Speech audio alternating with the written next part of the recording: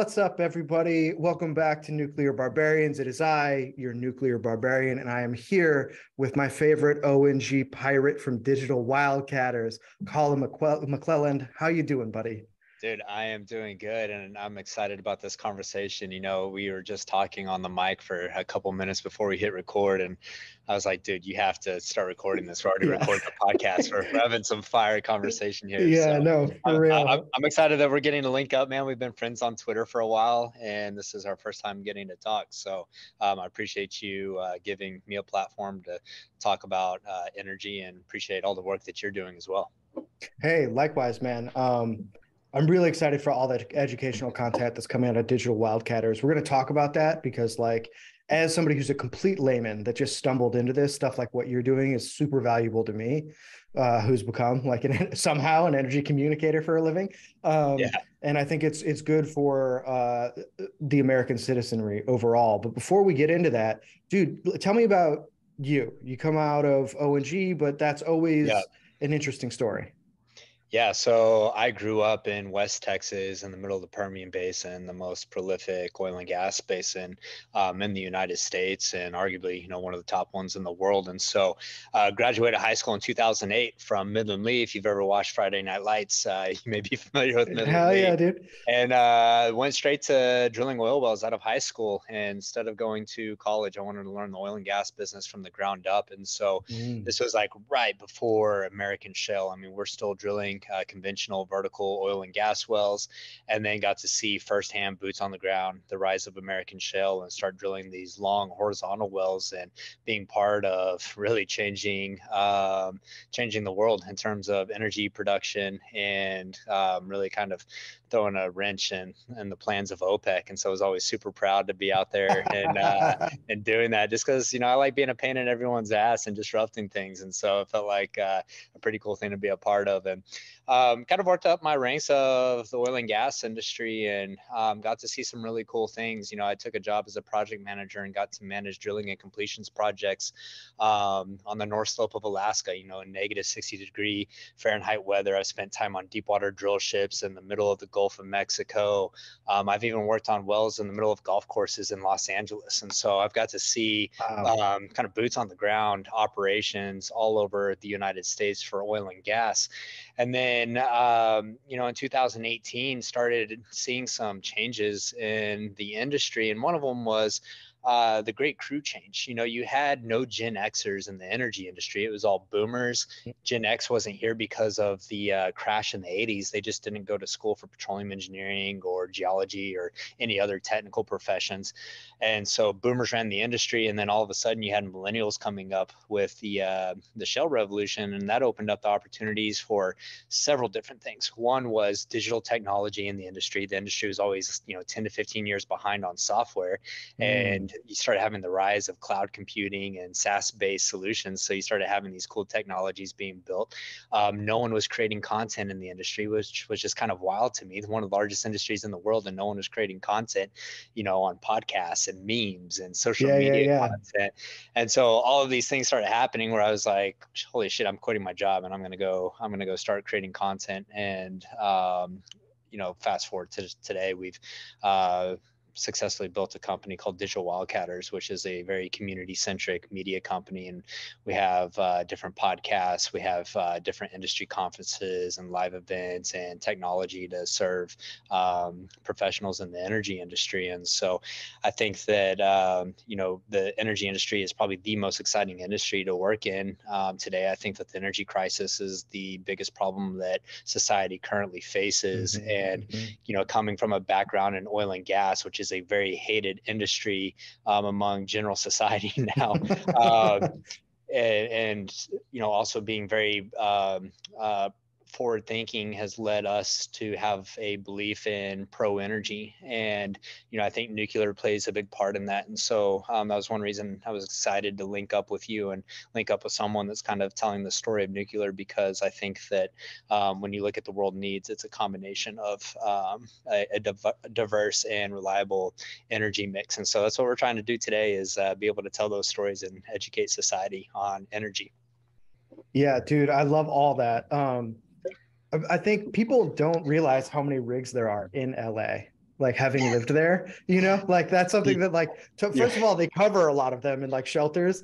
And the only reason i know about it is because the center for land use interpretation out there next to uh, the museum of jurassic technology used to run a bus tour to every single rig in la really? So yeah. it's so funny because uh, two weeks before I went to work on that well, my uh, my stepmom's family was here in town, and they live in LA. And I was like, "Oh, I'm going to LA in a couple of weeks to work on this well." And they're like, "Really? Where at?" I was like, uh, "It's uh, right here in Brea." And they're like, "We live in Brea. We had no idea that there's oil field there." You know, Brea is literally t- uh, Spanish for tar. And yeah, you go to Brea, yeah. and you know, my hotel has like old wildcatter wooden derrick paintings, and it's yeah, very much a, a, historic oil town and you know I, am driving around in a major intersection there's a pump jack right at the corner of it in the in, in this parking lot of this uh, of this uh, golf club.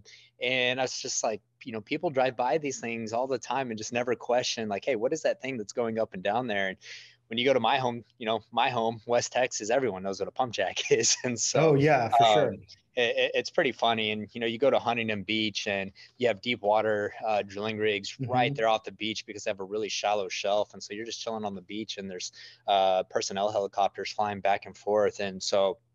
I find that to be extremely interesting, but it's uh, also it, it, really illustrates the lack of energy IQ among society, where mm-hmm. people out in LA live among it and they honestly don't even know that it's there. No, totally. So I love that you're from Midland, by the way. I don't know, like, so I've told this story a few times. I tell it to like every single ONG dude I meet. Is like I was I was a nuclear guy and um, I knew a little bit about that, a little bit about the grid, a little bit about renewables, right? Like that. But I'd come into energy through nuclear. And my dad used to live in Alpine. Oh wow, um, yeah. and so I flew out from LA. My wife and I flew out, and you have to land in Midland and then drive out yeah. there, right? and I remember landing and walking into the airport and seeing nothing but like technical advertisements for machinery, and I was like, "This is awesome."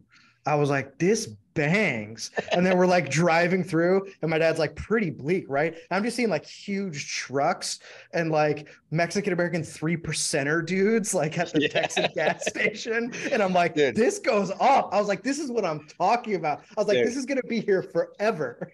it's you know a lot of people will talk shit about midland and odessa because it's a very ugly place from a geographical perspective. I mean it's just flatland desert no trees no water it's just dirt and mesquite. But it's also one of the most unique places in the world for all of those things that you just mentioned. I mean nowhere else can you walk into an airport and it's just advertising for oil field services and frac fleets and things of this nature. And you get outside of the airport and, you know, every three and four uh, automobiles is a uh, pickup. It's a white mm-hmm. pickup truck and it's just very industrial. And, um, you know, to be honest, is just a uh, place that's really just no bullshit, um, rewards hard work, and um, is full of a, a, lot of opportunity. And so, really random that your dad lived in Alpine. Um, you know, Midland's out in the middle of nowhere, but Alpine's really in the middle of nowhere. Oh yeah, so, oh yeah. I mean, well, here's see, here's I bring this up because a few years before I did that, I was out in Marfa because I used to live in New mm-hmm. Mexico. Oh, okay. Uh, protesting a pipeline, the Trans Pecos, as it was finally being completed, right? So I was on the complete yeah. other side of this, right? And now I'm on the complete opposite side. So I know wow. what my story is and how I became energy educated and what happens there. I think we wanted to be in touch with each other for a while. And then we finally made it happen when I reached out to you, when you showed clips from a very funny, very true slide deck you did on telling better energy stories. And I don't think I could replicate what happened to me for anybody else, but I feel like a version of it could happen for other people, either for nuclear and or oil and gas. So yeah, dude, how does how you said it, this is it's now a nationally hated industry. How do you rehab this industry? How do we tell better energy stories that aren't the climate change story? Because that's what I'm interested in.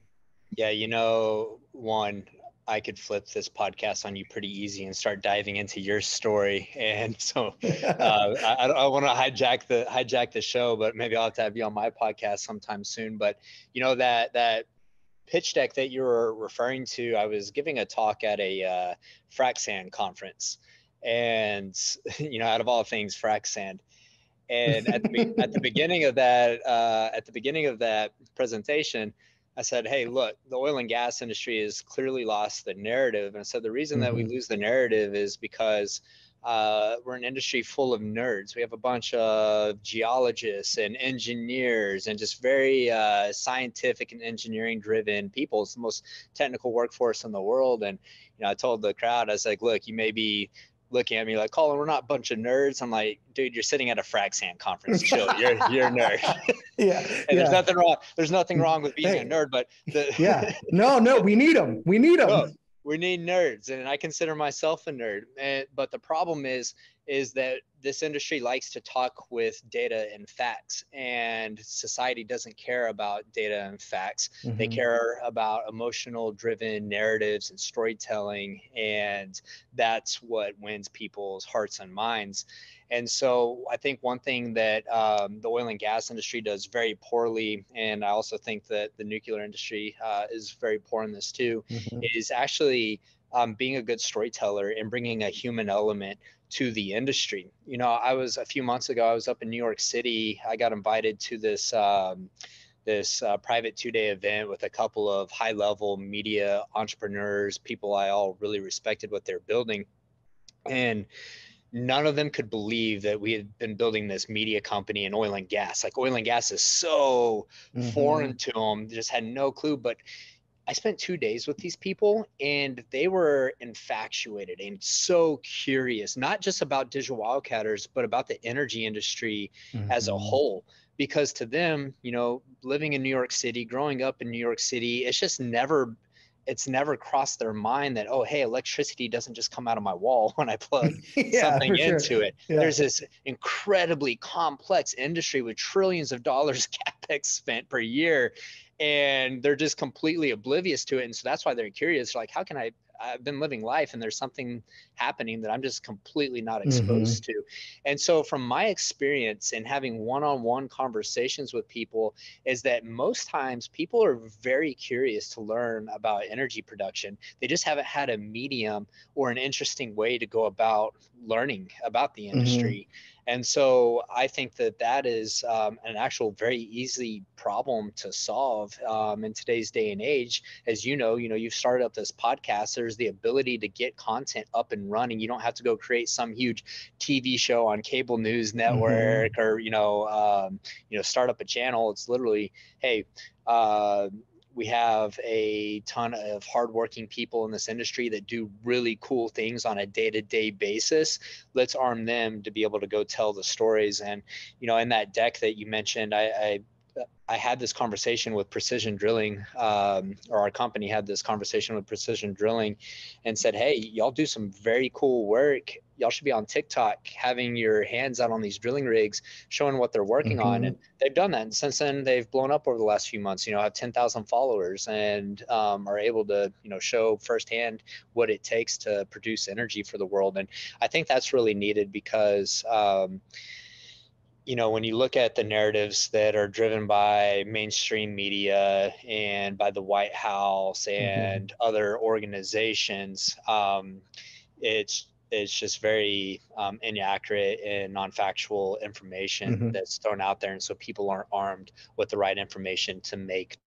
decisions um, for themselves on on where they stand and so even just taking you know taking climate out of it um, mm-hmm. you know mm-hmm. there's there's a lot of misinformation about um, you know the the viability of renewables to power 100% of electricity yeah. like you know we've thrown an event called fuse which is the south by southwest of energy tech and I brought everyone together. I brought in, you know, Toby Rice from he's the mm. CEO of EQT, the largest nat gas producer in the United States, and I had him right next to Mike Skelly, who's one of the OGs in wind development. Mm-hmm. And you know, like Mike Skelly got up there and it's like, hey, I'm just going to tell you, if you think that renewables are going to provide 100% of electricity, like you know, yeah, you don't know. you got another thing about. coming. Yeah. yeah. yeah, yeah, And so um, it's about getting that message out, and really for me, being pro energy, saying, hey, look, the end of the day. Um, energy is upstream of everything. It is the most critical thing mm-hmm. on mm-hmm. Earth, and it's really at the core of this universe is energy. And so, being able to have um, affordable and reliable energy to everyone around the world is um, an extremely um, critical mission. And you need all of the above when it comes to energy um, right now, and that includes oil and gas, nuclear, coal, wind, solar, geothermal, and um, really think about it pragmatically like that. No, absolutely. I love that. I love the idea of of uh, humanizing the profession like that is something that you've talked about. I think that's gone really well for nuclear with people like um, Heather Hoff over at uh, Diablo Canyon and her Mothers for Nuclear thing. I think that's really flipped um, a lot of people. But there's also this other element that I was thinking about. You might like this. I was rewatching the the Bones Brigade documentary. okay. Know, uh, Tony yeah. Hawk's old skate team, right? And yeah. Um, and you know, the thing that like we never talk about is that skating used to be lame. Like you were a loser if you skated. Like it was not yeah. this like symbol for coolness or whatever that it is now. Yeah. it was super lame. Like a lot of things in the 70s, it totally died after getting popular because no one knew how to build parks. So they ripped out all the infrastructure nationwide and it almost died. And then I was like, how did they come back from this? Like, yeah. how did this happen? Okay, so first of all, you have incredible skaters, right? Like, so you have stuff that works. Tony Nuclear. Tony Hawk Pro, Tony Hawk Pro Skater probably did a ton to bring, yeah. bring skating back. right, it did that, but how did it do it in the 80s and 90s? And a lot of it was this dude Craig Stecyk, who took all the iconic photos of the Z Boys and who did the advertising for Powell Peralta skateboards, which sponsored Bones Brigade. And he was like, okay. he was like, we don't need to do technical ads that showcase the mechanics of the board like everybody else. He was like, you know, the skateboard magazines by taking photos of our guys will do that for us. We need to deal in concepts and images. Yeah. And so he's like non-literal, cool, funny, strange, get eyeballs and like earned media on it. And I'm like, damn, I think that's also what we need because we need to bring people's hearts into it and then we re- need to bring their eyes into it. Right. Yeah. You know, that's um, a super interesting analogy that you brought up there.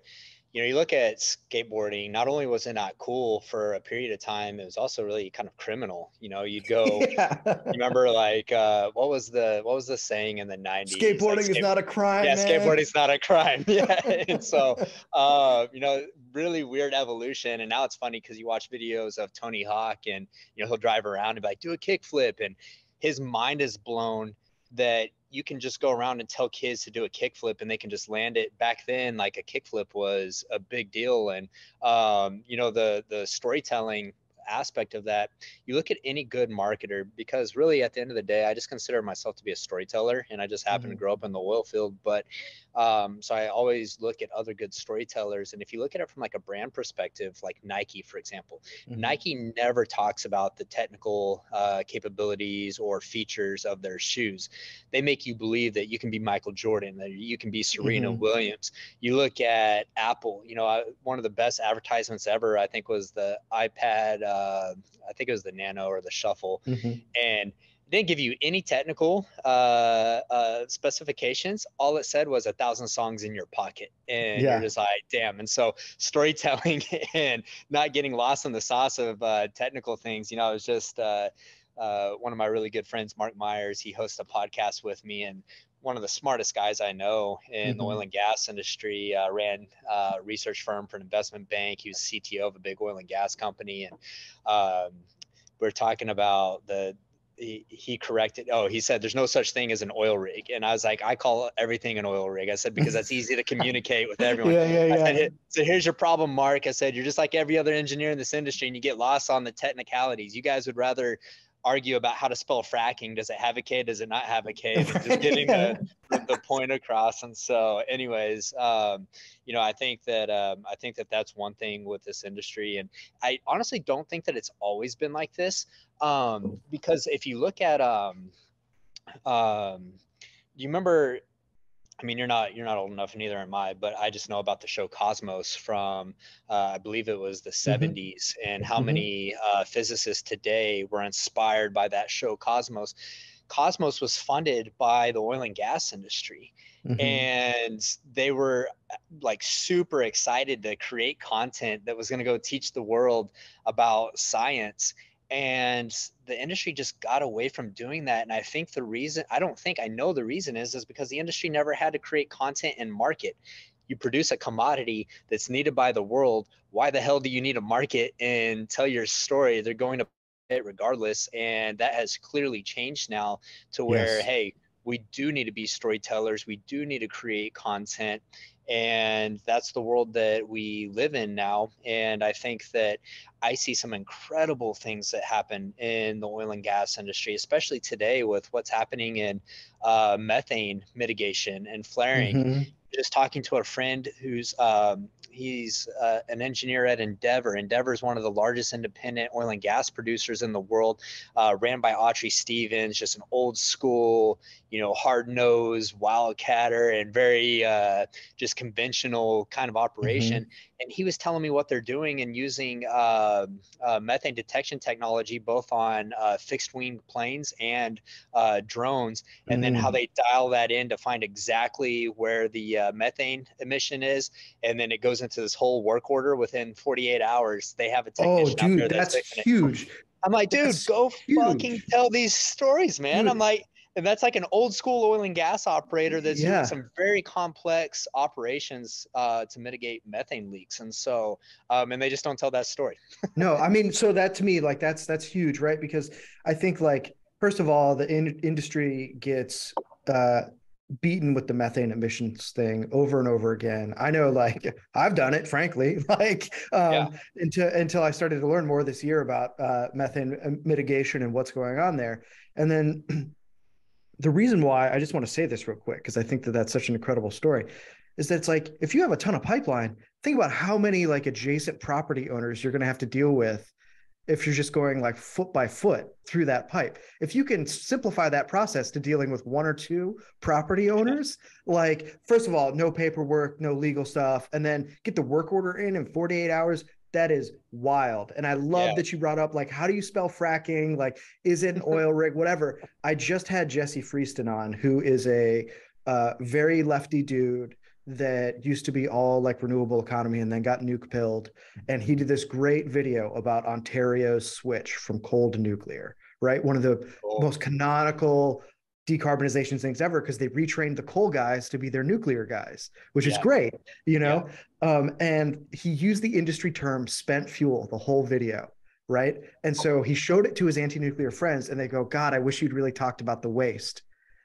And that's what spent fuel means. But yeah. they don't know that, you know. so he had to do a whole nother video where he was like, "This is what the reality of the waste is." But like, that's what gets lost in this like coming from highly technical industries where a specification is super important because it means whether you're wrong or not, and that has material consequences to the softer world of images and ideas. Where that's really so. That's so. You're what you're getting to is actually something that's um, non-trivial and important because mm. you have very smart people that are engineers and they don't want to use a term that isn't used in the industry for the fear of looking stupid for a better word um, mm-hmm. amongst their peers um, but the reality is is that you have to break these things down into simpler terms for general society to keep up with and i'm not saying that most people in society are stupid but they're just not um, they're busy you know yeah they're not going to make that connection that hey oh, spent fuel is is waste mm-hmm.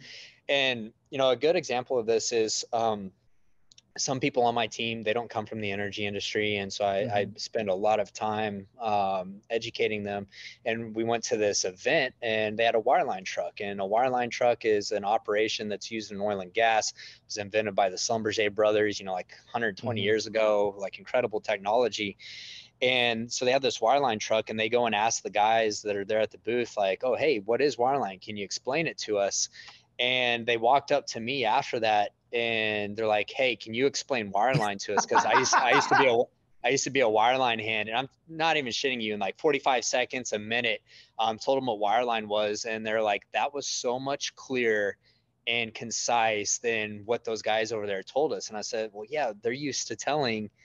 you know, technical other professionals that have a baseline understanding of oil and gas operations. They're not used to telling some, you know, just every everyday person. And so um, that's really what is, um, you know, that that that's where the gap is. And it doesn't surprise me that uh, you know your friend had that that problem between uh, well, it, and waste. And not only that, it's this thing where it's like, um, you know, I love engineers. I learn from engineers like every single day. Yeah. You know, I have like huge respect for that profession and I rely on that profession so yeah. that I can be correct in my communication. Right. Yeah. So this isn't a diss, but it's something that I've noticed is that there's a conflation. Uh, oftentimes they think being right is the same thing as being effective. So you yeah. say, well, we don't want to call it nuclear waste because that makes people anxious. And it's technically more correct to say spent fuel. So we'll just keep saying that and like that by making having the more technically correct term that's also not as threatening we will be right yeah and therefore know, we will be effective. And it's like that's not how that goes you know? And like you said you can't rely on the fact that you're a necessary a commodity anymore. If anybody in these industries thinks that because you are necessary you will be treated as necessary mm-hmm. buddy. The um you know going back to the the fracking thing the the whole thing um, there is if you look at you know there's plenty of documentaries on netflix that are anti-fracking and they always spell mm-hmm. fracking with a k. It's f-r-a-c-k-i-n-g mm-hmm. well in the industry we don't spell it with a k. It's spelled yeah, it's, yeah it's yeah it'd be phrasing yeah which let me let me get i'm gonna i'm gonna get yeah yeah yeah.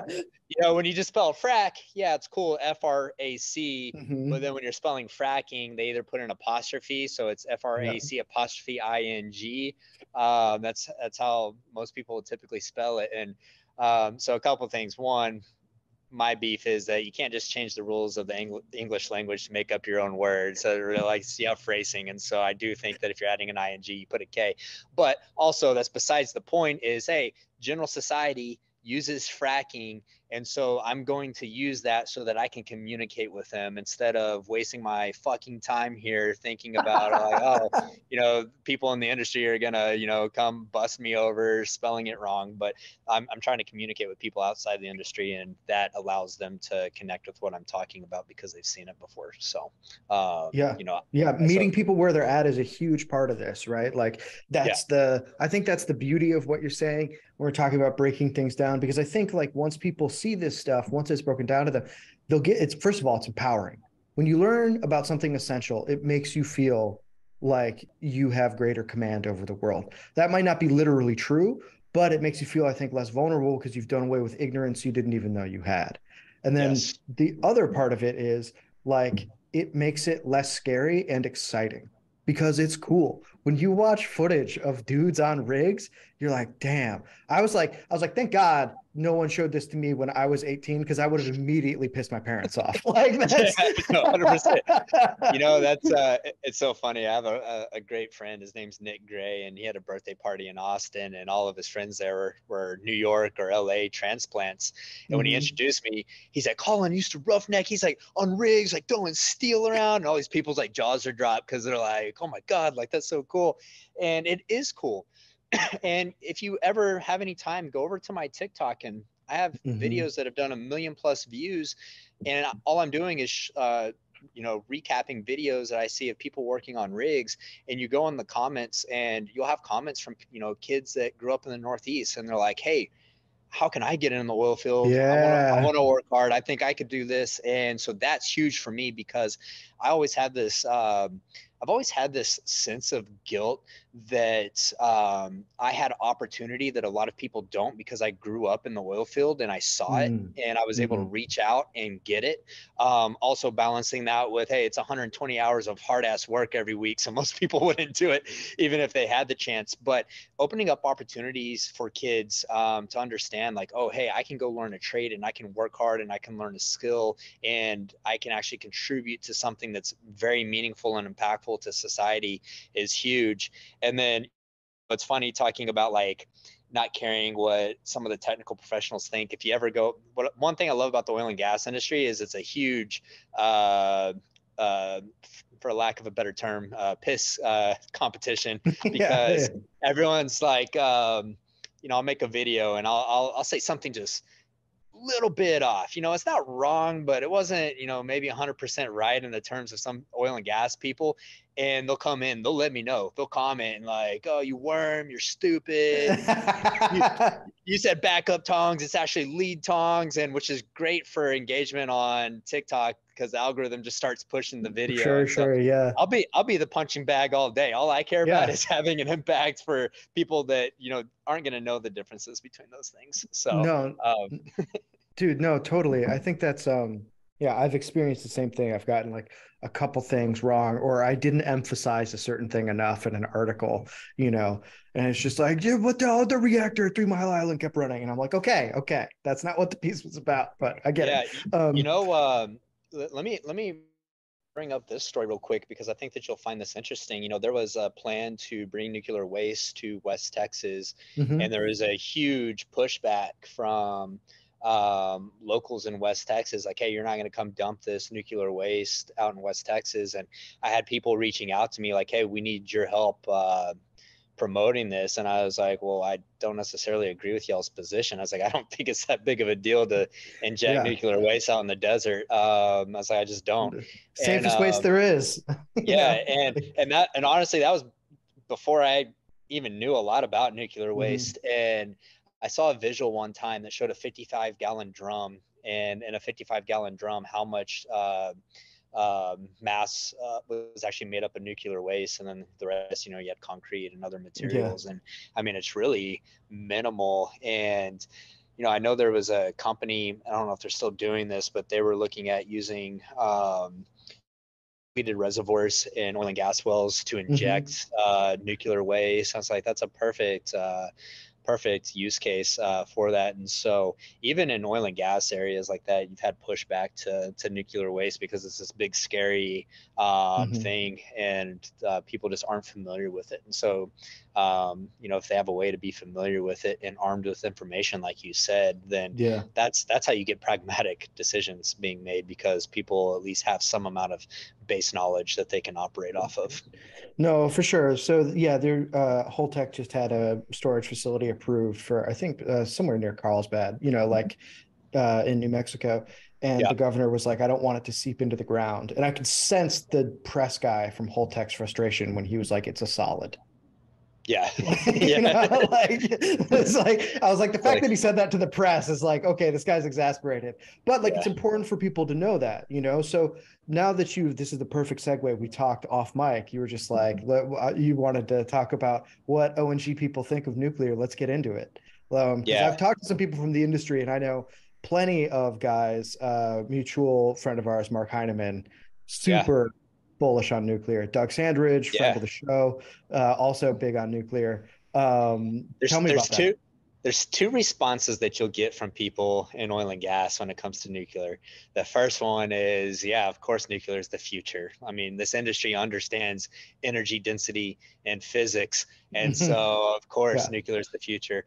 The second response is, shh, don't tell anyone that. It's the only thing that can displace it's the only thing that can displace oil and gas but they still know they still know the truth right? Yeah. And so um, you know i find that super uh, interesting. And you know there's this whole thing on twitter man where there's a lot of tinfoil hat conspiracy theory um, pushers over on twitter that think that oil and gas um, plays a bigger role than what it actually does to suppress nuclear and renewables. And one thing I really want to highlight is that I don't know if there is another industry or type of people that is more capitalistic than the oil and gas industry. If they can make money in renewables or any other energy uh, mm-hmm, uh, source, mm-hmm they'll underwrite it and they'll cut a check to do it. There's not some yeah, protected, yeah, yeah.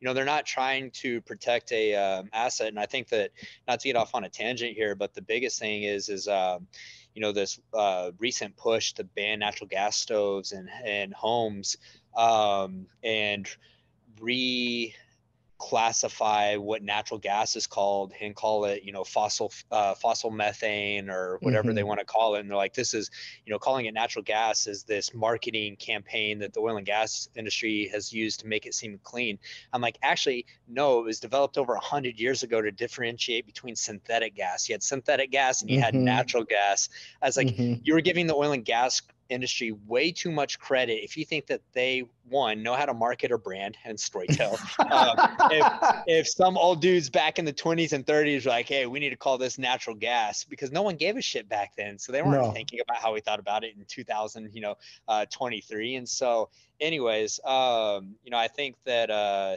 I think that at the end of the day, um, and especially, uh, I don't think a lot of people just understand the dynamics of oil and gas companies in the United States and in Canada. So, you know, broader North America, they always think that it's just big bad Exxon or BP or Chevron, mm-hmm, but mm-hmm. you have thousands of uh, oil and gas producers um, in the in the United States, and um, I think a lot of them understand that there are different parts of the energy mix and they play a critical part in it and i think they just want to you know, I think they're just tired of being bastardized and demonized. Mm-hmm. And you know, even Elon Musk, when he's on Joe Rogan's podcast a couple years ago, was like, "Hey, people in oil and gas, they've done really important work for yeah. the world, and all of a sudden, overnight, they're being demonized." He's like, "How do you think that makes them feel?" And so I think that that's you know a really important element. But you know, when it comes yeah. to nuclear most people in oil and gas understand energy density and and yeah uh, well you're energy guys you get it you know like that's the that's the thing i'm really glad you brought up sort of the the how it feels to be demonized this is something that i think is um I think it can be a touchy thing to bring up with anybody, and because you're, it's almost like you're talking about scar tissue. It doesn't feel yeah. good. You know yeah. what I mean? Like that's the, and and it's really hard to figure out how to transcend resentment also because social media really encourages that emotion in all of us like yeah. about everything not just certain things yeah. that might really matter like what we do with our energy so let me ask you this like how the industry from my i'm outside the industry as somebody who's observing i'm seeing guys like you i'm seeing other people pop up it seems like they're now responding to a need for there to be better stories and stuff like that um, and also to like stand up for themselves a little bit more. Uh, how do you see that starting to change right now? And also, how are, have people been feeling, and how is that starting to change for them in the industry? Yeah, you know, um, I think that Digital Wildcatters has been a catalyst for change in the mm. industry. You know, back in 2016, no one was putting out content in the industry back in 2018 when I really started going heavy in it. I remember people telling me that I was committing career suicide uh, mm. by hmm. creating content like this, and um, you know, fortunately, I just don't give a shit what anyone thinks, and I just kept making, making content. But you are starting to see a change, and let's look at EQT and Toby Rice, for example. Mm-hmm. Um, you know, Toby is has become a great friend of mine. And when I met Toby, you know, Toby told me something really cool. Um, my first viral video ever. I'm in Denver. I'm at Union Station and I'm walking around and I pull out my phone and I create this video talking about how these oil and gas companies need to adopt new technology. Mm-hmm. And um, there was a tagline in there. I said, oil and gas companies need to evolve or die.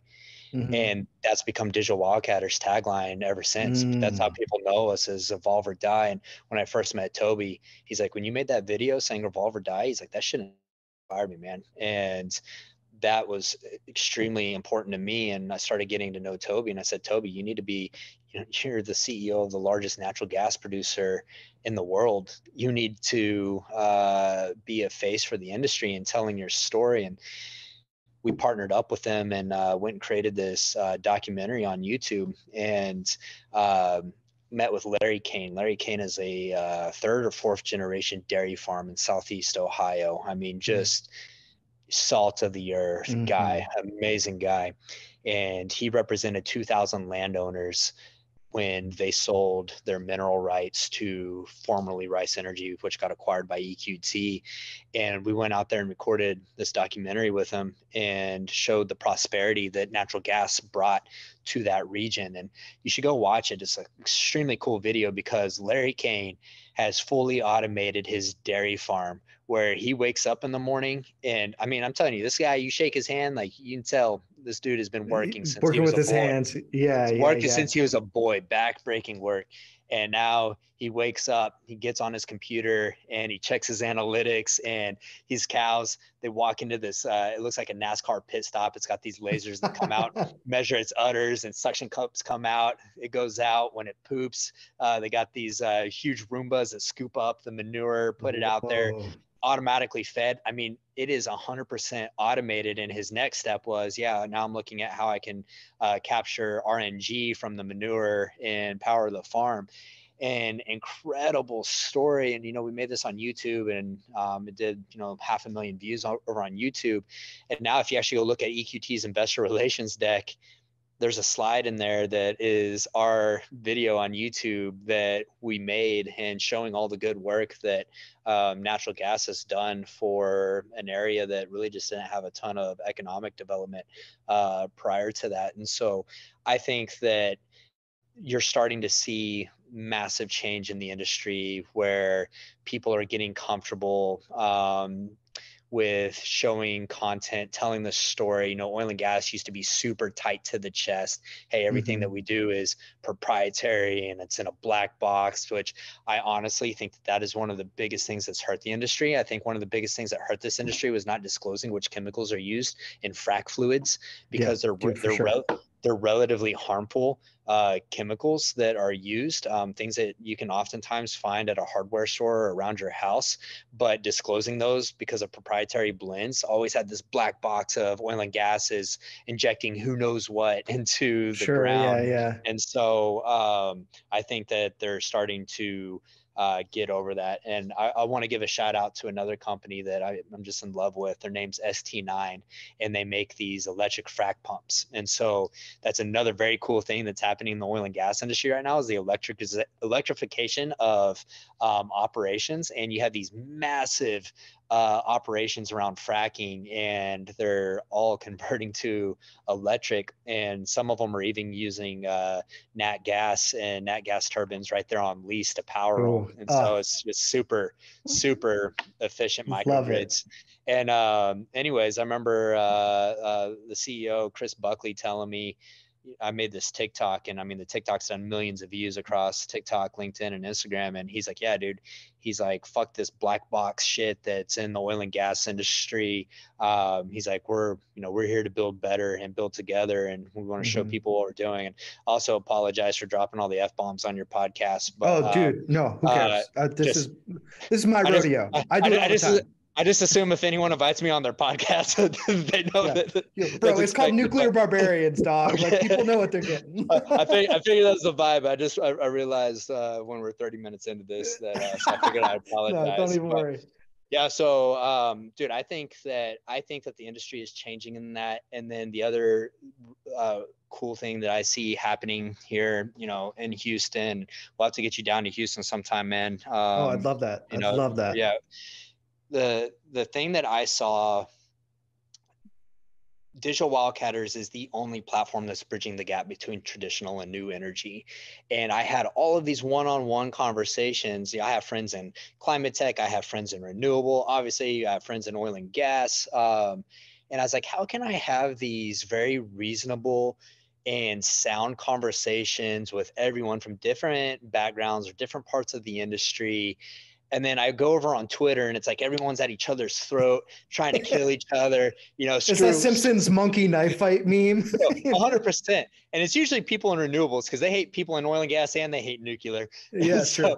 And like everyone's just going at each other's throat, and that's what it, I realized early on. I was like, I see this on a one-on-one basis that most of us aren't that far off. Mm-hmm. um, that we're pretty much kind of on the on the same page with each other and um, that's when it became a really big mission for me to start bringing everyone together and we've been able to do that through our content and our events and so um, i think that the the culture of energy is changing um, rapidly and exponentially. Yeah. I think so too. I think the, um, you know, like if I'm going to be completely honest, like the energy crisis like isn't over. Like it might be over, but we don't know. You know, like if ONG continues to be underinvested in Europe, and if they have a cold winter, um, it's going to be a very different story over there. They haven't replaced their flows from Russia with LNG. We're gonna we're we're bailing them out. Basically, is what's happening, and good on us. That's awesome. Love that. Um, but there will be real material consequences for missteps in energy policy and energy economics, and I think as uh, people pull the trigger on wrong-headed policies, that is going to be a huge call to action for all of us in energy to bring yeah. better information, more confident information, and to not rely on fear to get the messaging across because I think that will overcome the wave of anxiety that seems to overwhelm people, especially young people on this issue. Yeah, I agree with you. Um, and I also think it's important to kind of define what the energy crisis is because if we look, if we say energy crisis and we look on it on a very short, acute timeline here mm-hmm. over the mm-hmm. last couple of years, you know, there have been real consequences. There's hundreds of thousands, if not millions, I don't know what the real number is, of people that have died in Ukraine, in Russia.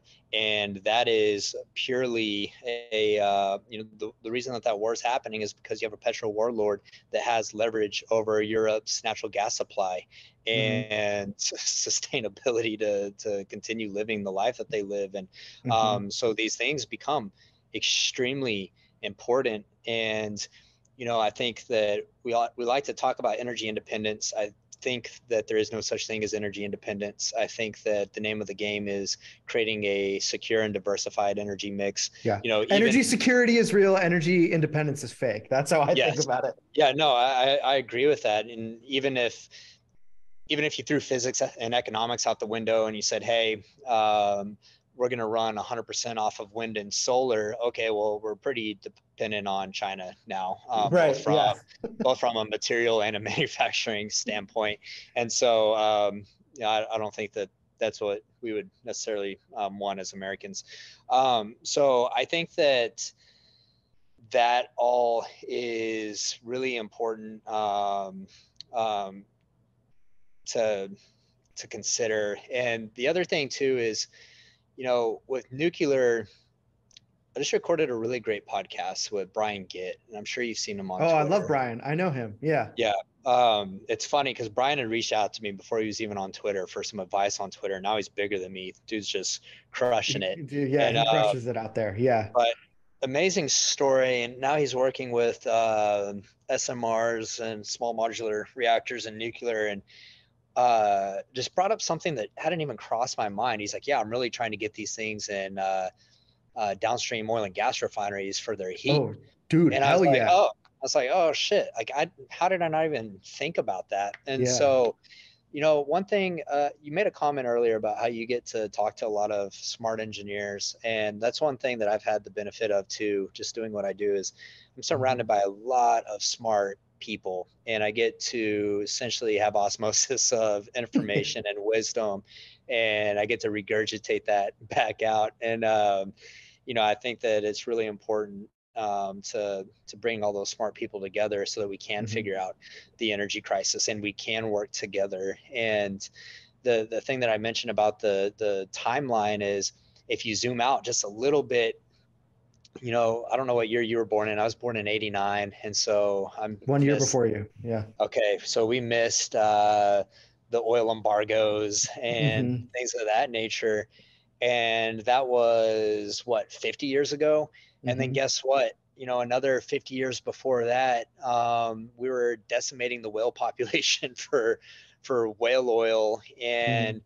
so if you look at modern society, one, we've only been industrialized for a couple hundred years, and you run into other things like oil and gas is a finite resource. And so, mm-hmm. um, even though it plays a critical role, these are finite resources. Coal is a finite resource, and mm-hmm. I think it's it's very much up for debate of how much uh, availability sure, we yeah. have of that resource. But it's like, okay, we should probably start figuring out new technological solutions before we run out of those resources. And you know, there's a really I'm not going to go down, man.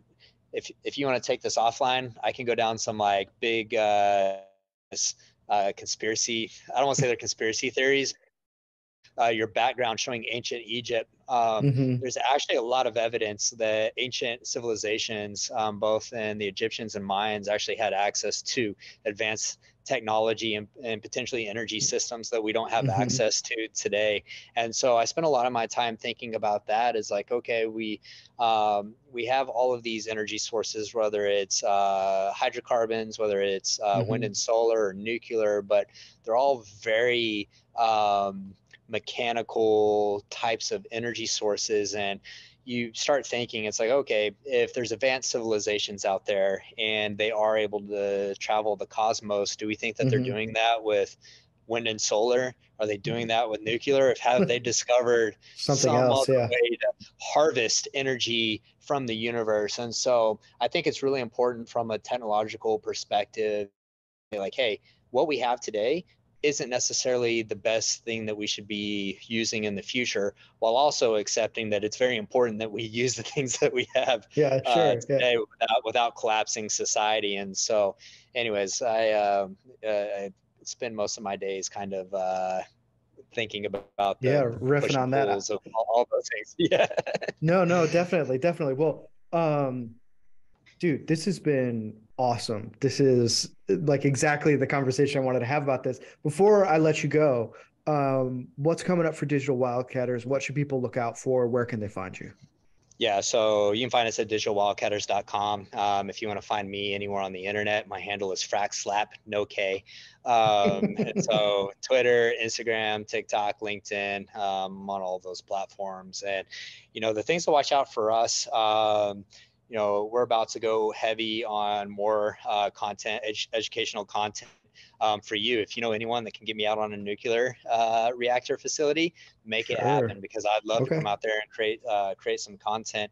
And then um, another big thing that we've been rolling out lately is our app, which is called Collide, and it's a place for energy professionals to um, have a dedicated space for energy conversations, find their next uh, job, and uh, make deep network connections with other people in the energy industry. So uh, you can find that at collide.io. So we'd love to have you guys there.